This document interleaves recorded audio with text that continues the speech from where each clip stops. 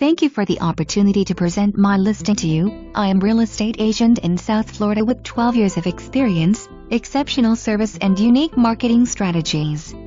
Sunny Isles Beach oceanfront city conveniently located in between Fort Lauderdale and Miami Beach. It is short walk from Oleta River State Park where fishing and bike trails are bountiful. Sunny Isles Beach has an array of gourmet and casual dining options as well as boutique shopping. If you are looking for luxury shopping the mecca for the elite in South Florida, Bal Harbour is just a 5 minutes drive to the south.